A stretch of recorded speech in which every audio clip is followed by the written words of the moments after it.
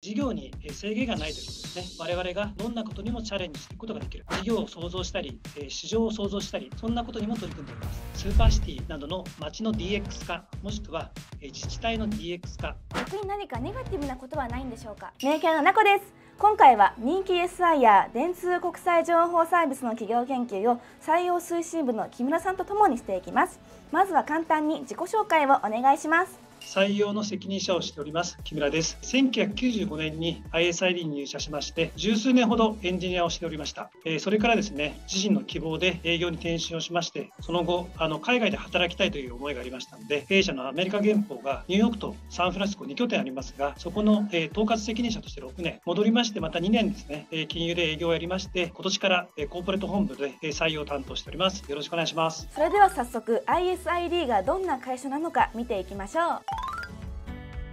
電通国際情報サービス略称 ISID は1975年創業売上1120億円。連結従業員数3240名。金融ビジネス製造コミュニケーション IT という4つの事業領域で事業を展開する SIR です。ISID は社会や企業の DX に対する期待の高まりを受け売上高利益ともに4期連続で過去最高を更新しています。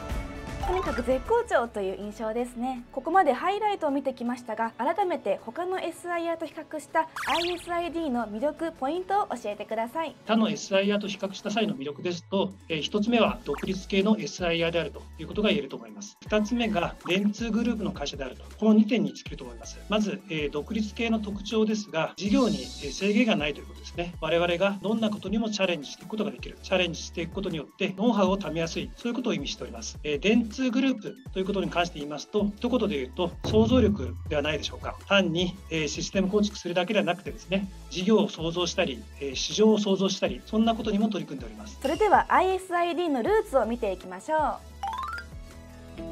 ISID は1975年に単独の広告会社として世界一の売上高を誇る電通とエジソンが創立したアメリカでも屈指の総合電機メーカー GE との合弁で設立されました創業から長い歴史の中で技術の蓄積を強みにサービスを提供し続け2019年に過去最高となる売上1000億円営業利益100億円を突破。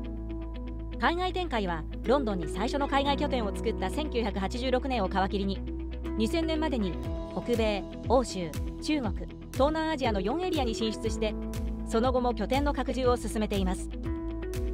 IT というとここ20年くらいのイメージでしたが50年近くの歴史があるというのが意外でした。やっぱり電通グループとの関わりが深いんですか？ISID は1975年に電通と GE との合弁合宿で立ち上がりましたが実は設立当初から長い間 ISID は電通の仕事をほとんどしてきてないんですね。ISID が力をつけていきまして電通の基幹システムを中心に社内のシステムを請け負うようになってくる。頭に電通がつくのでどうしてもあの電通の子会社というイメージがあるかと思うんですが実はあの2020年に電通はホールディングカンパニーを設立しましてその配下に電通と ISID をぶら下げるようになりました。もともとは親子関係だったわけですが今では兄弟関係と変わってきております。今後ですねより一体となって事業を取り組んでいく予定です。それでは ISID の事業内容を見ていきましょう。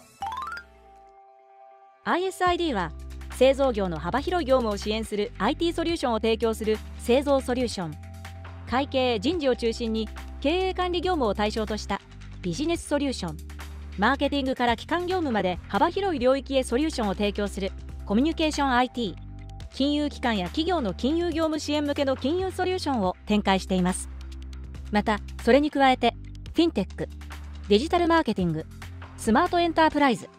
ものづくり革新など ISID が強みを持つ領域でテクノロジー業界企業地域などの枠を超えたクロスイノベーションを推進しています。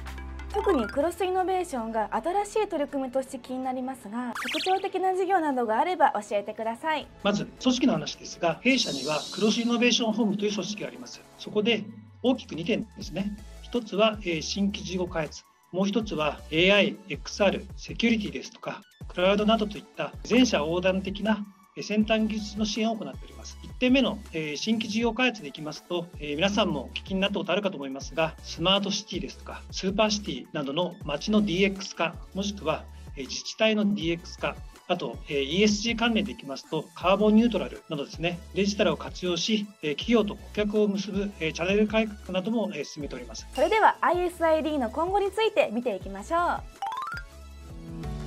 ISID は2030年に向けた長期経営ビジョンビジョン2030において2030年のありたき姿をクロスイノベータークロスイノベーションの実践を通して社会と企業の変革を実現する存在と定義し売上高3000億円規模の企業になることを目指しています。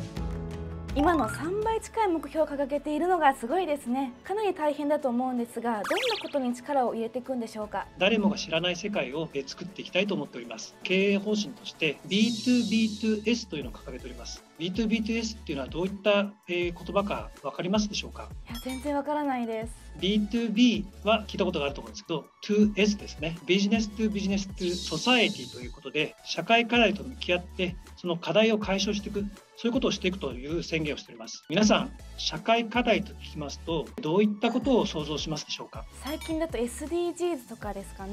そうですね。SDGs ですとか、日本ですと特に地方創生なんかが挙げられると思います。地方創生であれば、行政もかかりますが、地場の企業ですとか、学校、金融機関など多くのステークホルダーが連携していかないといけません。我々 ISID はですね、今後もテクノロジーですとか、業界企業、地域の枠を超えたクロスイノベーションを推進してテクノロジーの可能性を切り開いて皆さんのような生活者あと社会の進化と共存に寄与する新しい価値を提供していきたいというふうに考えています。最後に採用に関する情報についてお伺いします。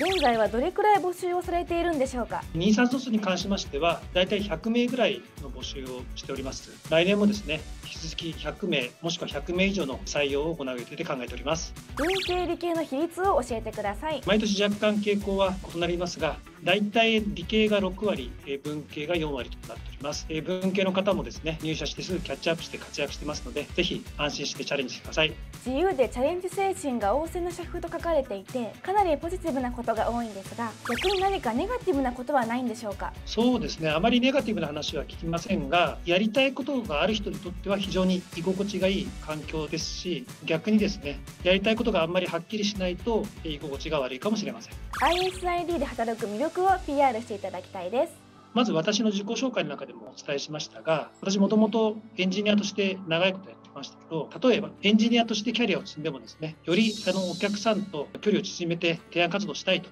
いうことであれば営業にもチャレンジできますしやりたいことは声に上げてですねチャレンジしていただきたいと思ってます。最後に就活生に対してメッセージをお願いします。先ほどビジョン2030をお伝えしましたが今まであのシステム構築を中心にやってまいりましたけどこれからですね、まあ、社会課題と向き合う事業を創造する必要に応じたですねマーケット市場も作っていくということで SIR がやってきたこととは違うようなこともどんどんチャレンジできます。そんな他社ではやってないことをですねぜひ私もチャレンジしたいという方がいましたら ISID の門を叩いてみてください。お待ちしてます。本日はありがとうございました。ありがとうございましたこの動画を見て ISIG が気になったもっと知りたいと思った方は最新情報を見逃さないように概要欄にある採用ページを見てみてください。コメントもお待ちしてます。